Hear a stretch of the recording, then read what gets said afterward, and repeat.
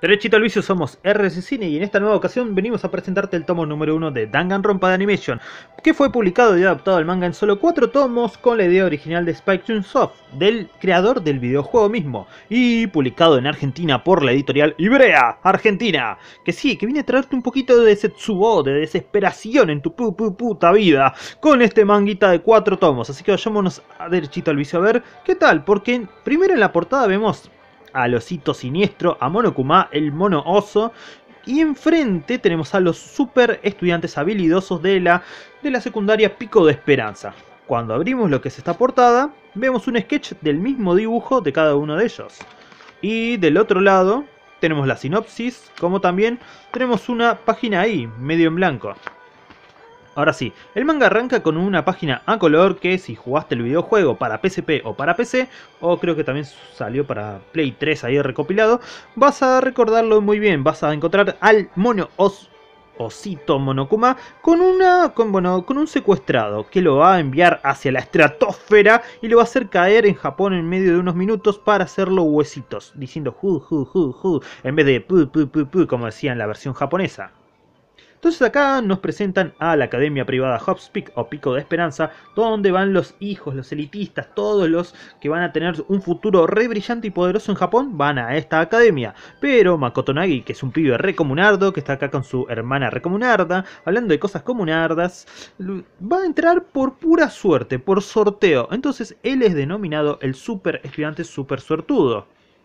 Está re emocionado, ahí su hermana también lo refelicita y se dirige hacia la entrada del colegio para despertar desmayado, despertar ahí en medio del aula con un mensaje que lo guía hacia el, hacia el patio escolar, vendría a ser, donde se va a encontrar a todos los otros estudiantes super habilidosos de su curso. Hasta ahora lo que vimos en estas pequeñas páginas es todo original que no has visto ni en el juego ni en el anime. Eso me encanta. Pero a partir de acá ya es lo que ya hemos visto. Se encuentra con todos los estudiantes super habilidosos. No saben por qué están ahí. Y ahí se encuentra con Sayaka Maizono, la pequeña idol que compartió con él los primeros tres años del colegio, se diría la secundaria baja, por así decirlo. Entonces están felices de tener una cara familiar. Solo que ella se hizo súper cantante, súper linda y súper moe y Byakuya Togami, que es el super heredero del colegio, que está ahí al lado de la super escritora de secundaria, está como muy, bueno, no perdamos el tiempo, ¿por qué nos despertamos acá de la nada y por qué está todo confinado? ¿Por qué está todo atado? ¿Por qué está todo tapado? Entonces todos se preguntan, ¿qué es lo que pasa acá? Ahí nos encontramos con Junko Enoshima, la supermodelo, al lado de la super hacker Chihiro Fuji Saki. Tenemos al super autor de Doujinshi de secundaria, Hifumi llamada. Depende de la traducción del juego. En algunos dicen que es el super nerd y en otros dicen que es el super mangaka. Tenemos al super jugador de béisbol Leon Kuwata, a Mondo Wada, que es el super delincuente secundario. Y todos nos preguntamos, ¿por qué queremos un super delincuente en un super prestigio prestigioso colegio? No lo sé. Pero bueno, al lado suyo tenemos al super luchadora de secundaria Sakura Ogami, junto con Yasuhiro Hagakure, el super adivino de secundaria, el super disciplinador de secundaria, la super nadadora de secundaria que ama las donas y la super apostadora de secundaria. Dios te salve María. Pero bueno, todos están ahí con la super misteriosa de secundaria, todavía no saben qué es lo que hace esperando que alguien les diga algo. Y ahí de la nada va a aparecer el osito Monokuma, ¡Tada! Va a gritar en medio del escenario. Les va a contar primero que él es el director de la academia, todos se sorprenden porque dice, ¿cómo puede ser que un oso pueda hablar? ¿Acaso es un robot? ¿Es un juguete? ¿Es 3D? Y él les cuenta que el objetivo de la academia es formar a las esperanzas del futuro del país, por lo que esas esperanzas deben ser protegidas y resguardadas. Eso quiere decir que no les va a dejar escapar de la secundaria de por vida quieren salir todos los demás, pero él dice, no, no, no, no, no, no se preocupen. La única forma de salir es quebrantando las normas. Y a eso se refiere con matar a alguien más dentro de la academia. Todos están choqueados como diciendo, ¿qué dice este osito Ted? Y acá les explica, puede ser golpeado, apuñalado, martillado, aplastado, puede ser quemado, puede ser decapitado, ahorcado, puede ser tajiado o puede ser maldecido no importa la forma, hay diferentes y múltiples para asesinar a los demás. Y quien lo haga será considerado egresado para salir de la academia. esto me da mucha adrenalina. A todos le dicen, Jagero, ¿qué estás diciendo? No, no es una joda. Y ahí en cuanto Hondo agarra al Monokuma, lo suelta por un instante y explota. El oso no está diciendo nada a la ligera. El oso realmente los tiene encerrados y nadie va a poder escapar. A menos que cumpla esta siniestra norma de matar a alguien más. Entonces, entonces, entonces, a cada uno dice, ah, seguramente ustedes dirán, ah, no hay ningún motivo para matarlo más que el escape. A menos que le demos un motivo. Y ese motivo va a ser un DVD, un DVD en el cual van a ver una razón para querer escapar, para volverse completamente desesperados y caer en el Setsubo infinito. Pero por otro lado tenemos acá a nuestro, pero bueno, tenemos a nuestro super heredero Togami que se quiere rajar por su lado, quiere estar solo y separado de los demás, diciéndoles, bueno, no tenemos que fingir ser un grupo, y todos se van a ir al aula de computación o de informática para averiguar qué es lo que tiene ese DVD de cada uno, por qué se quieren matar, por qué tendrían que hacerlo. Y ahí por un lado tenemos ahí a la pequeña idol Maizono al lado de nuestro Nagi, siendo amiguitos, siendo felices, siendo un equipo dentro de esta secundaria. Acá le cuenta cómo es que lo conoció por primera vez. Le hace un chiste sobre que es una Esper y que realmente tiene sentimientos encontrados con él de admiración. Me encanta que acá que trata de leerle la mente para joder que es una Esper. Pero bueno, ahí Naegi se pone el DVD junto con todos los demás en el aula de informática, encuentra ahí un video de la familia, todos felices, felicitándolo por ingresar a la secundaria, pero su casa está totalmente destruida. El sofá donde estaban ellos ya no está. ¿Qué pasará con ellos? La respuesta se revelará después de la graduación. Entonces todos, absolutamente todos, han sido amenazados para querer escapar de la secundaria. ¿Y alguno lo hará? ¿Alguno cruzará la línea e intentará matar a los demás para poder saber qué es lo que pasó con sus familias? Eso lo veremos. Eso es lo que Monokuma quiere ver con completa y total desesperación. Así termina el primer capítulo de este tomo. Sobrevivientes 15 estudiantes. Bueno, del otro lado ya comenzamos con otra presentación de Monokuma explicando cómo es que está en el colegio, quiénes son los super, super jóvenes que están encerrados y que la única forma de salir es matándose entre sí y que en algún momento una víctima va a terminar cayendo. Pero bueno, así continúa. Al día siguiente todos hacen reuniones mañaneras, desayunan juntos para ver dónde pueden escapar. O sea, qué pueden escapar, qué es lo que hay ahí dentro. acá tenemos una pequeña conversación brusca entre la superescritora y nuestra supermodelo. Que se queja de que en la vida real no es tan linda, en la vida real no es tan sexy como en las tapas de revistas. Entonces dice, eh, pará, que eso es Photoshop. Y acá pasa algo con Enoshima. Tiene el cuello re largo. No sé si lo habrán notado. Tiene el cuello ultra largo. Pero bueno, eso no importa por ahora. Mientras siguen discutiendo qué es lo que van a hacer y cómo es la regla de matar y eso, o sea, nadie quiere matarse, Togami dice, bueno, dejen de hacerse el grupito de amigos, en algún momento ustedes van a estar pensando en matar a alguien más.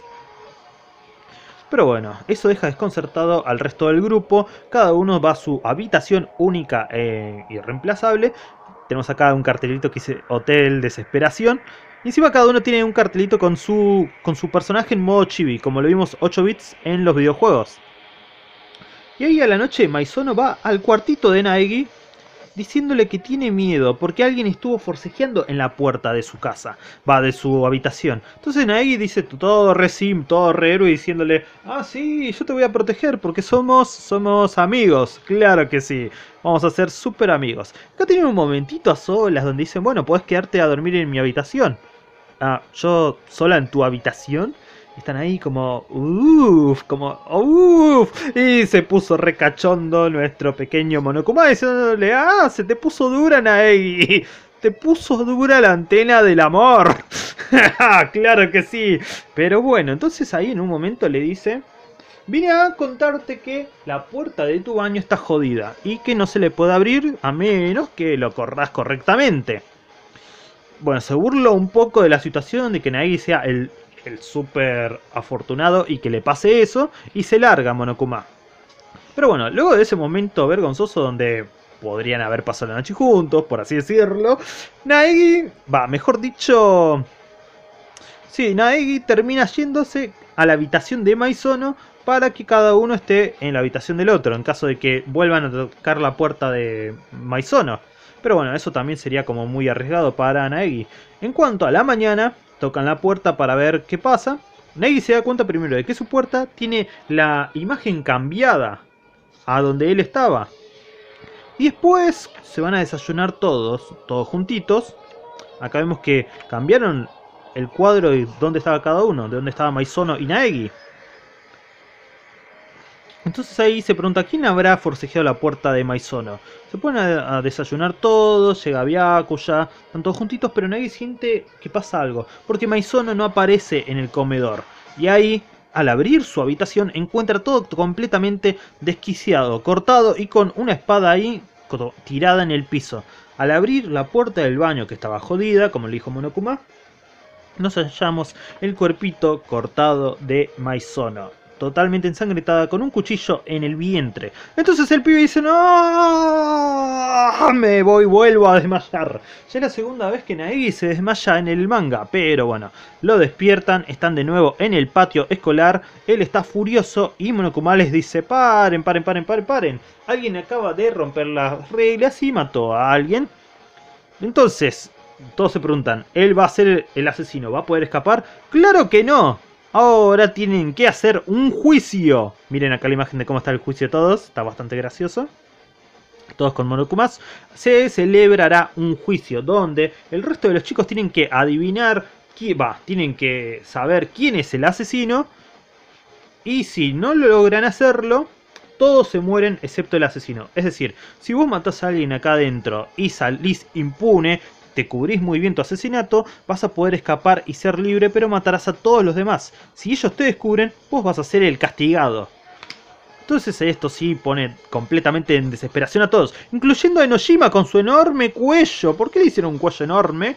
No lo sé, pero bueno, Enoshima se enoja, dice, ¿cómo puede ser que hagan esto? ¿Cómo es que maten a todos? ¿Cómo me podés meter a mí en esta? Agarra a Monokuma. Monokuma dice, hey, estás rompiendo las reglas, no tenés que tocar a tu director. Y la atraviesa con un montón de clavos.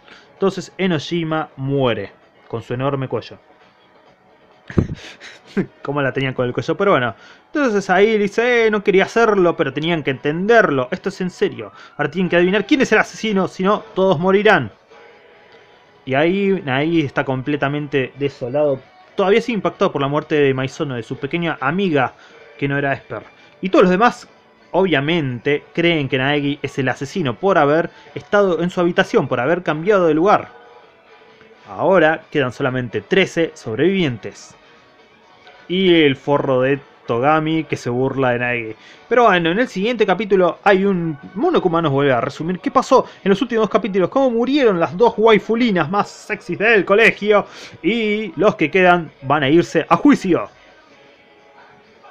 Entonces, por un lado, mientras todos tienen miedo de Naegi y dicen, no, este es el pibe asesino, este nos va a matar a todos, de repente sale a la luz la super investigadora a decir, Naegi, tenés que buscar, ¿cómo se llama?, pistas, o si no, te vas a morir y nos vamos a morir todos. Entonces Naegi por un lado, los otros pibes por el otro, van a buscar pistas en la habitación.